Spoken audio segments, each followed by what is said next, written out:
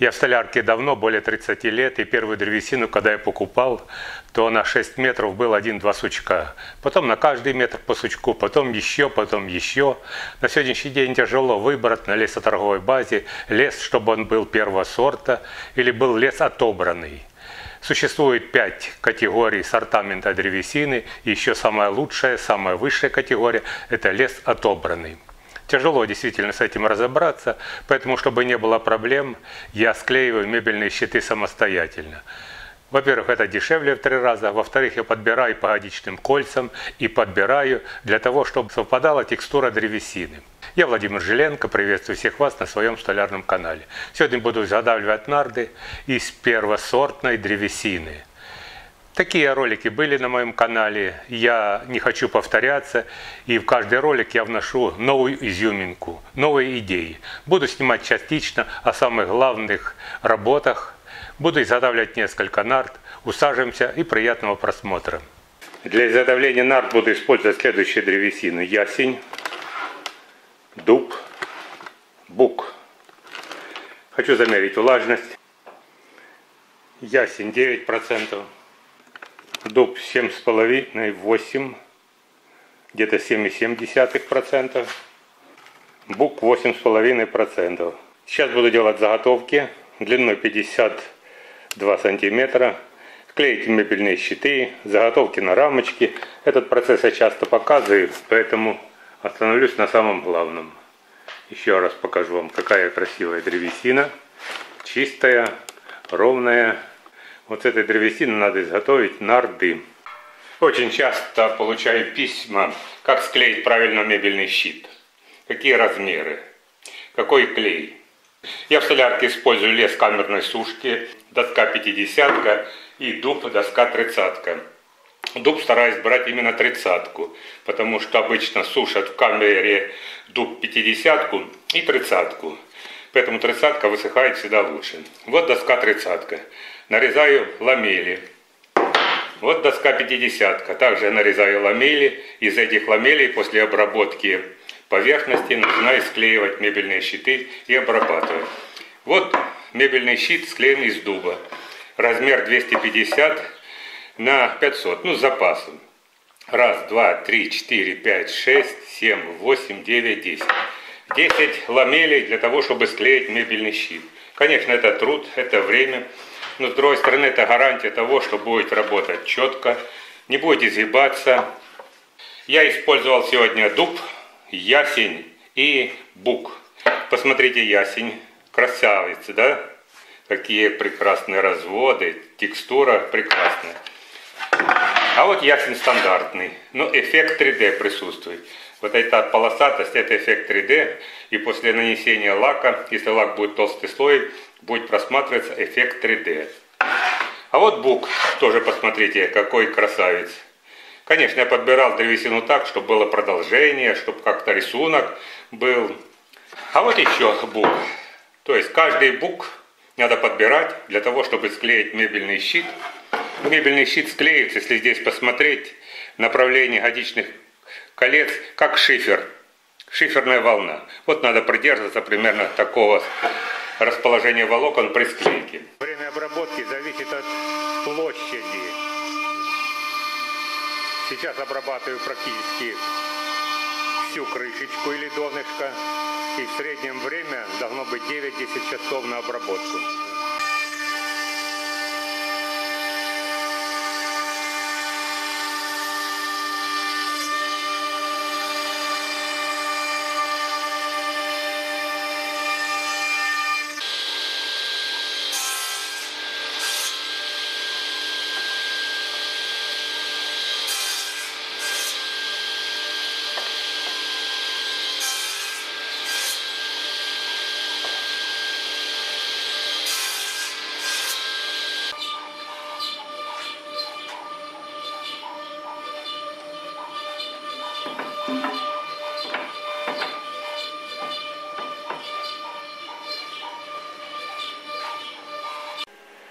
Как вам такой бук? Нравится? Вот этот оттенок. Первый сорт. Фрезерная обработка на станке ЧПУ. Процесс очень длительный.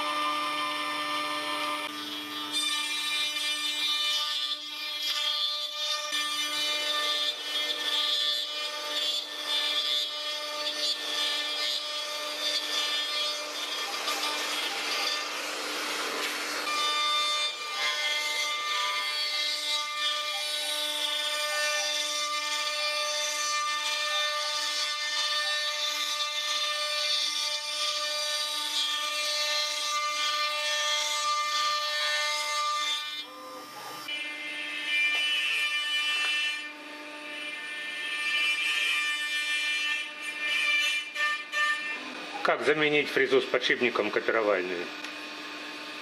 Вот таким приспособлением можно точности добиться.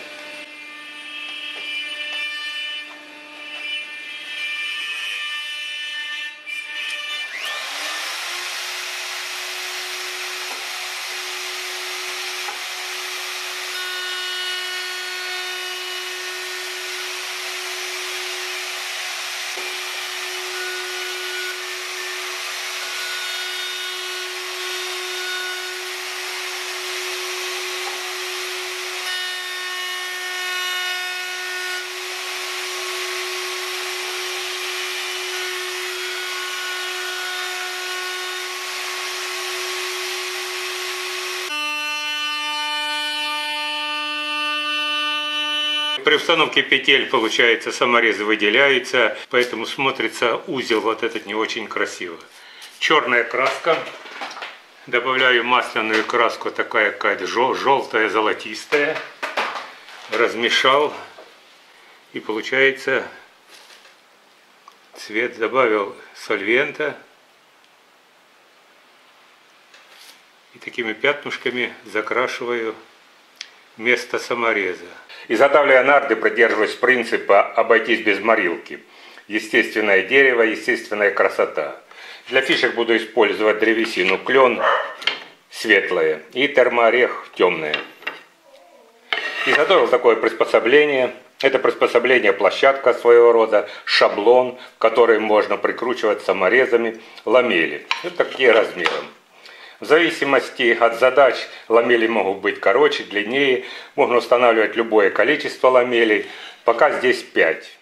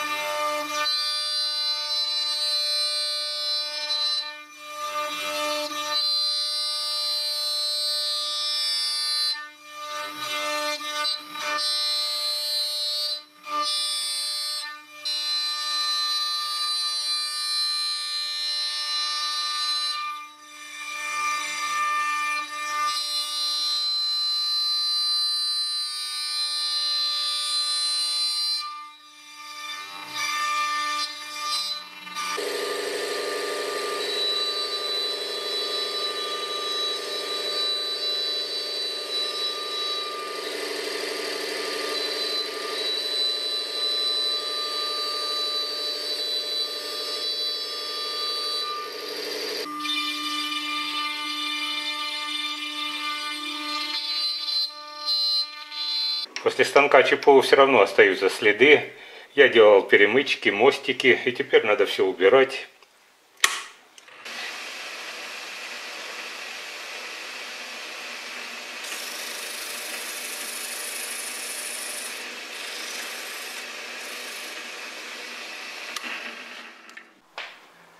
Еще одна отделка. Песок опилки. О таком методе я рассказывал. Я использую такую щетку. А сегодня буду обходиться без щетки. Первый опыт. Поэтому попробую.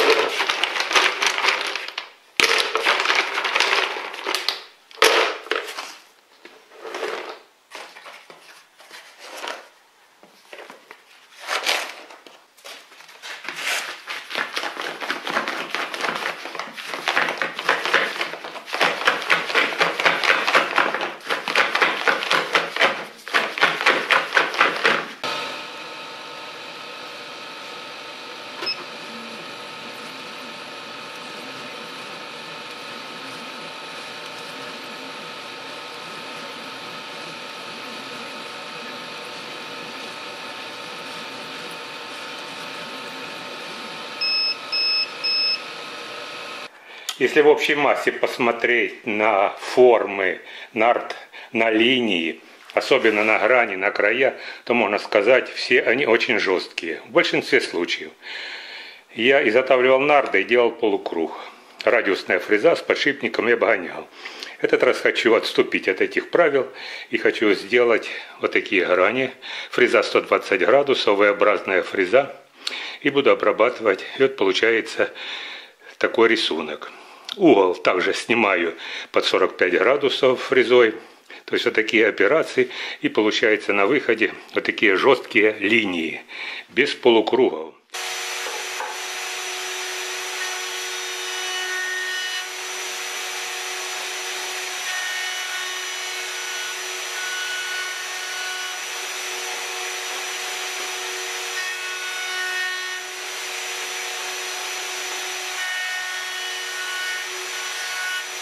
Эпизод «Приятная мелочь». После фрезерного станка грани снялись, имеет красивый вид, угол 45. А вот этот угол мне не нравится. Поэтому часто мне выручает сапожный нож, потому что сталь очень хорошая.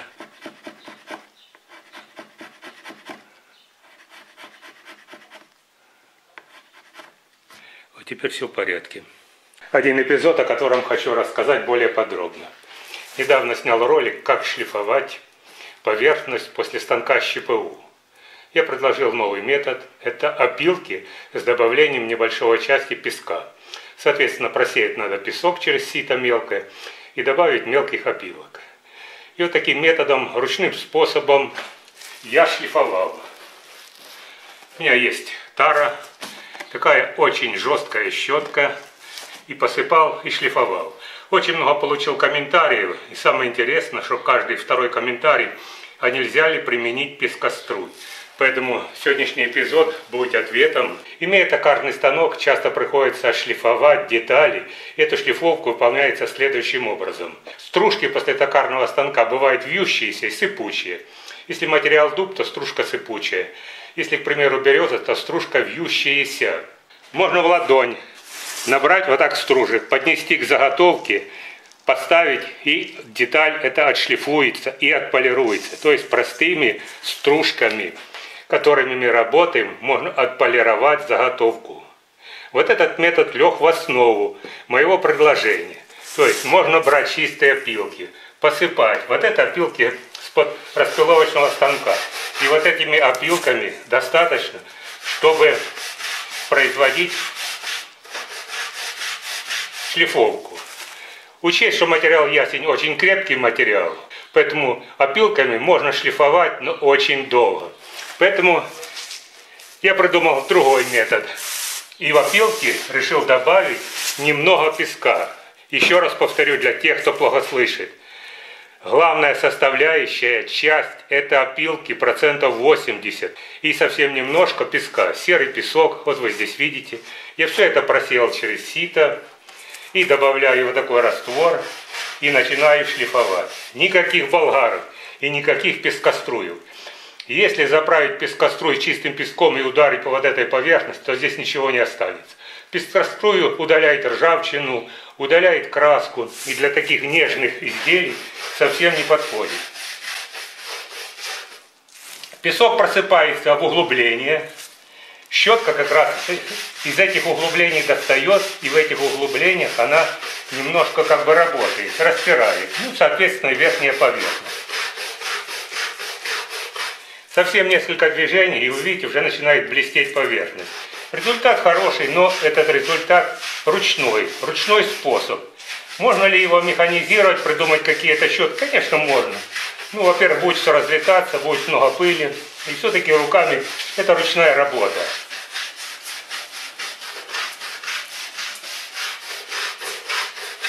В качестве финишной отделки скотч Брайт темно-красный, он грубее, серенький нежнее.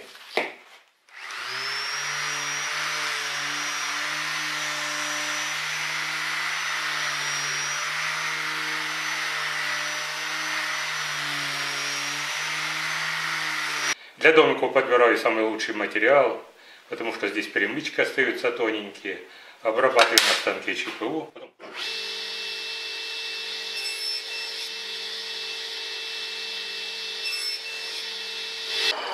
И теперь подгоняю по длине каждую деталь.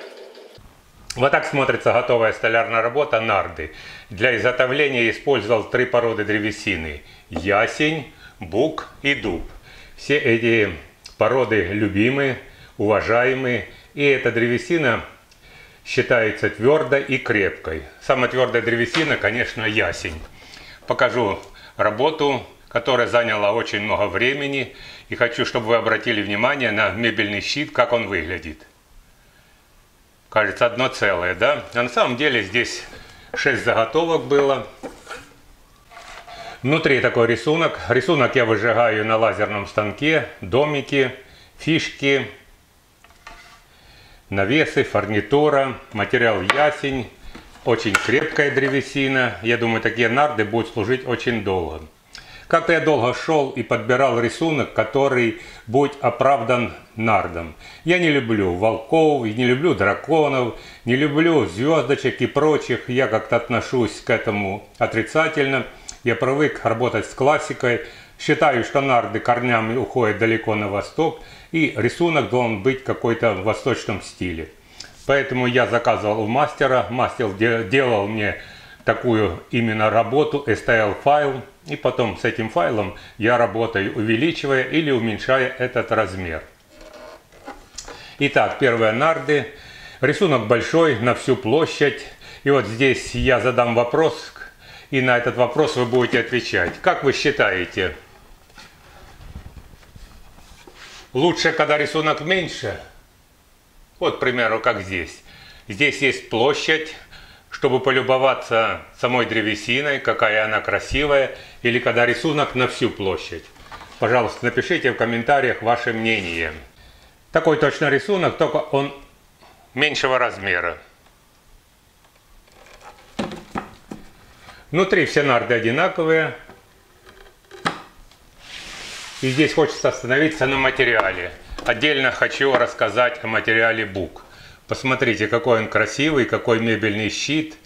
Материал бук сам по себе это безликий материал, однородный материал. Редко когда бывают какие-то украшения, прожилки.